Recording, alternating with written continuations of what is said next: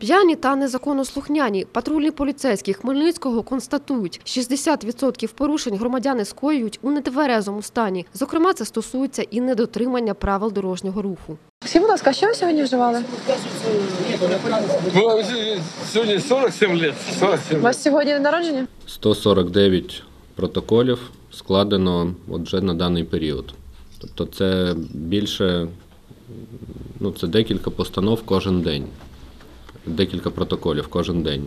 А ще хмельницькі патрульні кажуть, в обласному центрі де-інде продають алкоголь після 22-ї години. Особливо, за словами правоохоронців, цим грішать у магазинах однієї з відомих торгівельних мереж міста. Я Олександру Сергійовичу запропонував або ну, взагалі позбавити ліцензії принцип магазин на продаж алкоголю, або змінити графік їх роботи до 10-ї години вечора.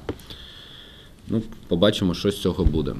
До речі, у Хмельницькому досі нема спеціального закладу, куди медики та поліцейські могли б доправляти п'яних. Нагадаємо, у 2009 році витверезник урочисто відкрили на базі центру реабілітації «Промінь надії». Обійшовся він міському бюджету у 800 тисяч гривень, але так і не запрацював. Світлана Русіна, Володимир Сапрекін для інформаційного випуску.